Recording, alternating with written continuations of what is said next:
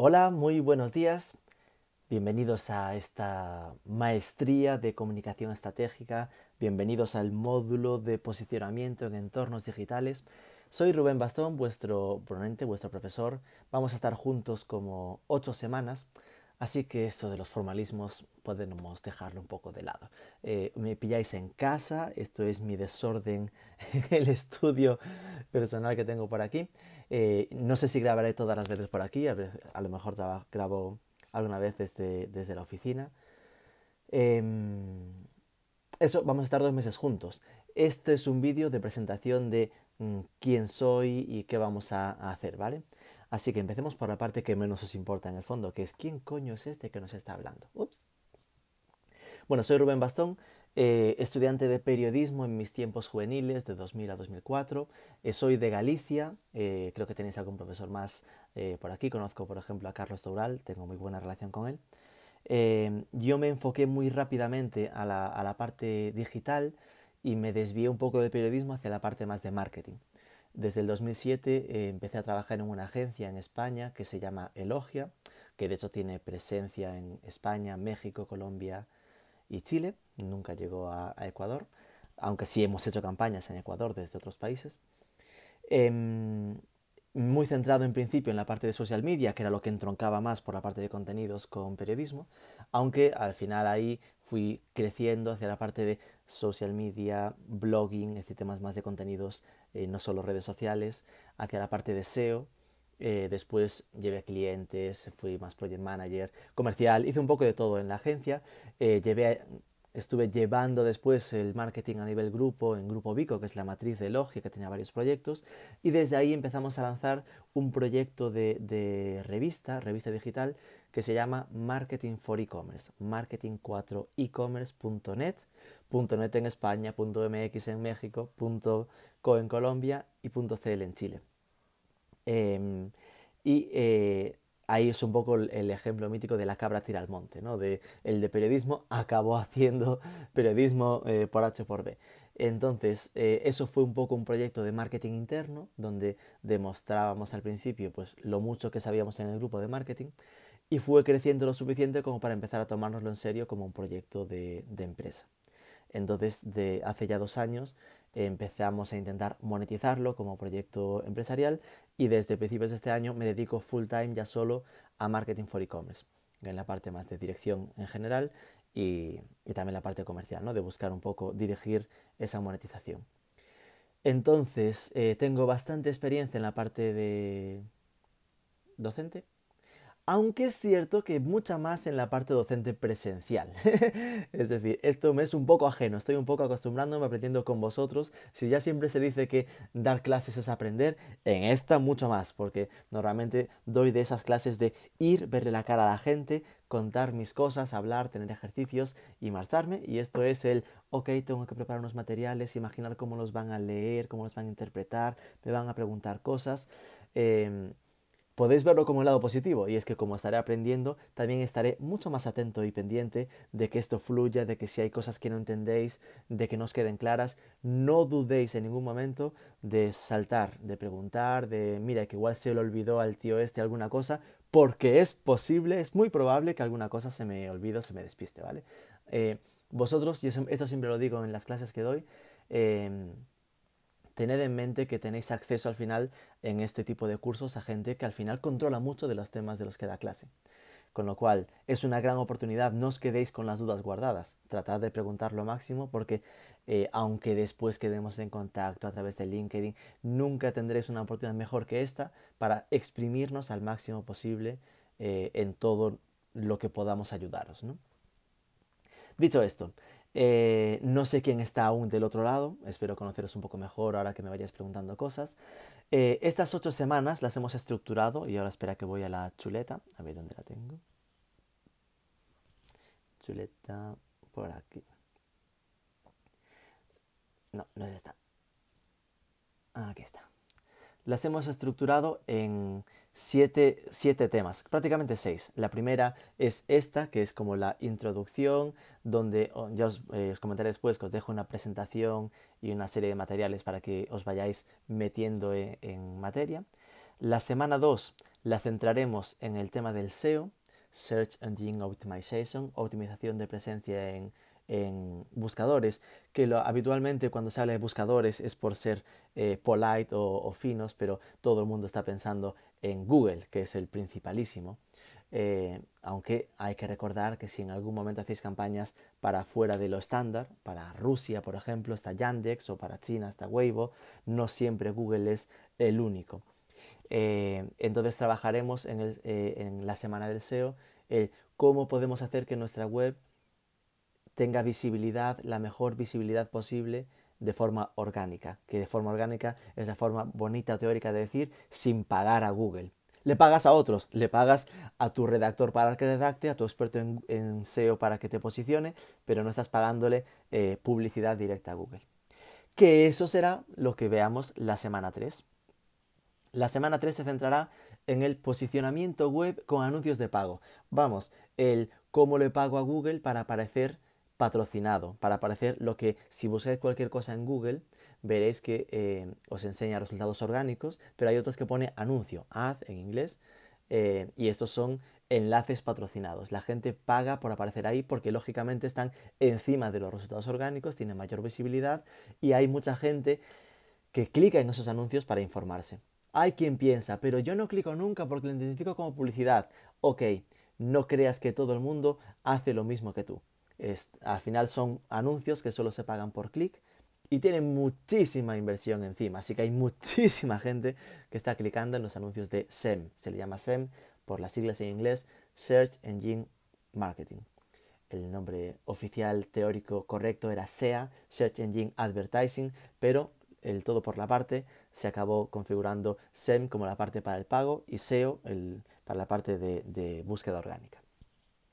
Entonces ahí nos centraremos, aunque dentro de la publicidad en Google hay muchísimas formas de publicidad, nos centraremos especialmente en la parte de publicidad dentro de Google, que es la más genérica, eh, seguramente la que más lleguéis a utilizar de forma iniciática. Cuando empecéis un proyecto diréis, uy, tengo una web, vale, que reposicionarla orgánicamente para que sin pagar o pagando lo mínimo, pagando lo mínimo porque lo hago con contenidos, eh, se posicione orgánicamente lo mejor posible y mientras eso no pasa, pagaré a Google para que a esas búsquedas seguro que yo quiero aparecer. Entonces es la forma urgente, rápida de, posicionarse.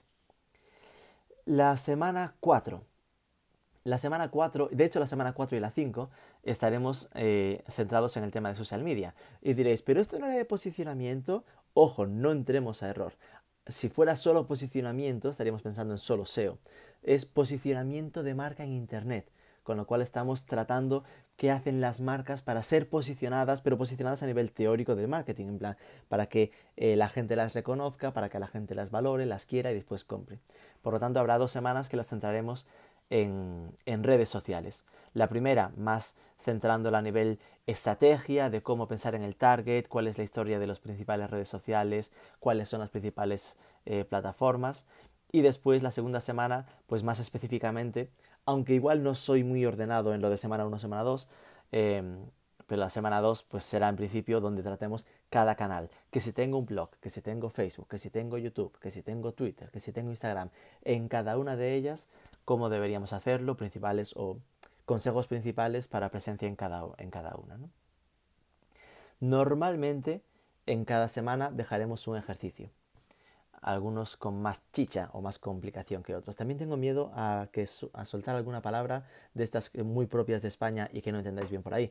Si me escucháis algo raro, también preguntadlo que os lo explicaré. Con más chicha me refiero con más enjundia, con más cuerpo, con más volumen, con más potencial. Em, la semana 6 la centraremos en Online Reputation Management, el ORM, la reputación online que normalmente es lo, típico que la gente suele pensar cuando tiene problemas de reputación. Entonces lo ideal es que lo pensemos antes. Oye, tengo una marca que no tiene problemas. ¿Cómo hago una cobertura de reputación para que a la mínima que haya una queja no me genere un problema? Para tener previsto cómo detectar esas quejas para evitar que se conviertan en un problema y ese tipo de historias. Entonces veremos un poco ya pues qué es eso de la reputación, cómo monitorizar online, que hay herramientas de pago muchísimas y muy caras y las hay gratuitas muy malas, limitadas. Al final la mejor, Google Alerts, aunque sea un poco triste, pero bueno, veremos con más detalle cada una de ellas, que es una crisis de reputación, cómo se resuelve o cómo preverla. ¿no? Y la última semana con temas así concretos sería la semana 7, que sería, la centramos en un concepto de amplificación social. Porque muchas veces en redes sociales o en medios sociales nos acabamos centrando demasiado en nosotros, en nuestra marca, en tengo un Facebook, en tengo un blog, y nos olvidamos muchas veces de que es más fiable para el usuario, para nuestro cliente, el que lo diga otro a que lo diga nuestra marca. El que lo diga otro en Internet, ¿qué es? Ese mundo de lo llamado eh, los influencers. ¿Por qué está triunfando tanto esas campañas de influencers? Porque son terceros que hablan por nosotros. Y en general, aunque podamos pensar y podamos debatir y debatiremos si queréis sobre cuánto creíble es un influencer que ah, trabaja con 4.000 marcas y es cantosísimo que trabaja para ellas y cobra, pues es como lo de los anuncios en SEM. Puede ser cantoso, pero es que igualmente la gente se fía de él y se fiará de él aun sabiendo que cobra de nosotros antes que de nosotros directamente, porque de nosotros directamente sabe que solo queremos venderle. De él está cobrándonos, pero igualmente pensarán que, bueno, si nos está haciendo la campaña es que se fía de nosotros y si no, no lo haría, porque oye, que les cae bien y tienen esa confianza en él. Con lo cual hablaremos de influencers y también aprovecharemos para hablar de anuncios sociales, que es esa capa de amplificación de nuestros propios contenidos en redes sociales, para meternos al menos un poco en, oye, que sepáis que si tenéis Facebook a día de hoy deberíais hacer anuncios en Facebook para promocionar esos contenidos, si tenéis Twitter, ahí están los Twitter ads, si tenéis LinkedIn, los anuncios en LinkedIn, etc. Y llegará la semana 8, que será un poco más de consolidación de contenidos, de preguntar dudas, de estar acabando los problemas y preguntar, eh, consolidar un poco todo lo que hayamos trabajado en las semanas anteriores. Por eso ahí no planificamos contenido nuevo. Eh, habrá tres ejercicios, como os decíamos. Los tres ejercicios, déjame ver si los encuentro. Eh, bueno, habrá tres ejercicios, perdón, con más enjundia. A ver, un momento. Que estos son mis notas. Tengo por aquí un formato más oficial. Aquí, plan. Plan. Vale. Semana 1, semana 2, semana 8. Es que lo tenía abierto, pero tengo tantas cosas abiertas que no lo encontraba. Pues, por ejemplo, para foro académico, la idea será montar un debate sobre auditoría SEO. Entonces, esto entrará seguramente en la semana 2, la semana que viene.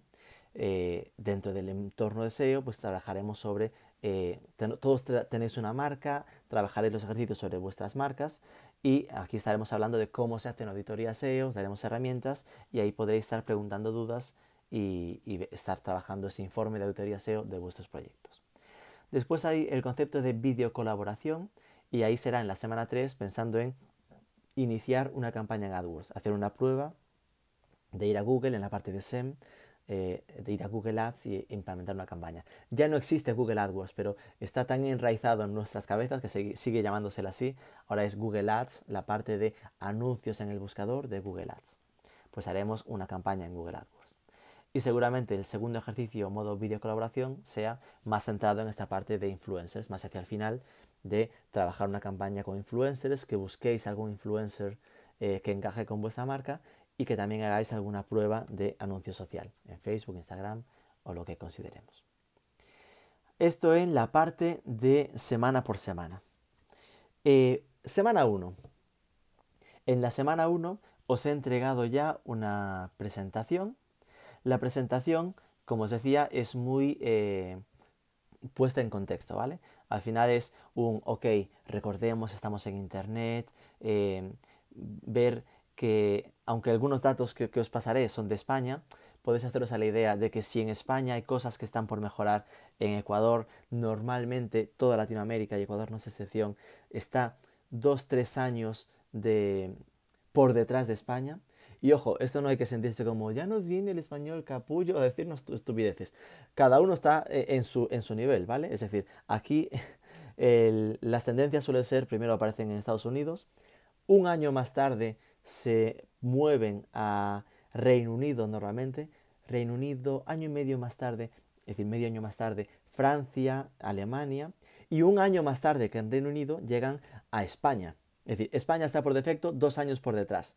Pero es que es eso, en plan, otro año más tarde, pues llega a los países punteros de Latinoamérica, a Brasil, a México, en según qué casos. Y otro año más tarde llega a otros países de Latinoamérica, en el cual dentro del, grupo de los cuales estaría Ecuador. Y si no os gusta esto, me lo comentáis y lo debatimos. Eh, entonces, en esa presentación, pues vamos a hablar de un poco eh, desde lo que es el marketing tradicional, que se hablaba de las cuatro Ps, de producto, precio, distribución, que es placement, y publicidad, que es promoción, pues cómo en Internet ha ido moviéndose a no se buscan productos, se buscan soluciones a necesidades, no se busca precio, se busca eh, algo que aporte valor, no se busca placement, sino acceso, porque al final todo está accesible a través de Internet y hay que ver cómo encontrar esa accesibilidad y cómo la publicidad ha ido convirtiéndose cada vez más o más cercano al mundo de la información.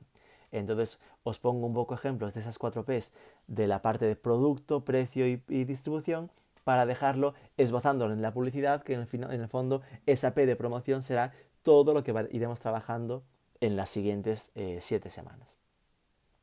Y de forma más concreta, mucho más concreta que la presentación, en los enlaces, en un Word os dejo con enlaces para cotillear, os doy un, si no sabéis nada de nada de esto que estoy comentando, pues un vídeo sobre qué es el SEO. Un artículo más en profundo si queréis profundizar sobre cómo ser el SEO que se adelantará a la semana siguiente. un artículo también bastante en detalle sobre cómo hacer una auditoría SEO, por si estáis como con ganas de perfilar por ahí. Un vídeo de qué es el SEM, las diferencias entre SEO y SEM, un artículo con más en detalle de qué es el SEM y cómo crear una campaña Google AdWords. Veis que son cosas que se adelantan a lo que haremos, pero ojo, en plan, porque cada uno, no quiero limitaros. Si en la semana 1 tenéis esa curiosidad y, queréis profundizar, aquí ya tenéis recursos. Y, ya intenté, ya he intentado centrarlo en, en recursos de mi confianza, en los que solo con ir a la home, a la raíz de esas webs, y usar su buscador podéis encontrar muchísima más información interesante. Para social media os pongo un mini vídeo bastante sencillo de historia de medios sociales, eh, de los, eh, después un, un, artículo más profundo sobre historia de Internet para ver un poco el contexto, después historia de Mark Zuckerberg, que es el jefe dueño de Facebook, que me parece interesante porque al final Mark Zuckerberg es el dueño de Facebook, Instagram y WhatsApp. Es decir, es como muy buena parte de lo que pasamos de tiempo en redes sociales lo pasamos en los dominios de Mark Zuckerberg. Otro artículo de redes sociales con más usuarios en 2019 a nivel mundial. A nivel de reputación online, un vídeo de la historia de reputación online y marca personal, qué es la reputación online, cinco claves para sobrevivir a una crisis, por Juan Merodio, que es un tío también que genera muchos contenidos interesantes, y otro vídeo, otro artículo de Vilma Núñez, otra tía muy interesante, de qué es la reputación y cómo cuidarla. Y por último, sobre amplificación social, qué es el marketing de influencers, un poco ponernos en contexto, 10 herramientas útiles para buscar influencers y qué son los social ads. Y creo que con esto ya tenéis bastante para empezar a rascar, ¿vale? Lo dicho, queda abierto el cuadro de diálogo con nosotros, estaremos también en la, en la tienda virtual, madre mía, es decir, en la web, en la, en la escuela virtual para ir preguntando dudas y quedamos en contacto. Espero que por favor cualquier duda que tengáis no tengáis vergüenza en preguntarla y nada, que esto sea lo más provechoso posible para todos, para vosotros, para mí, seguro que lo es. Un abrazo.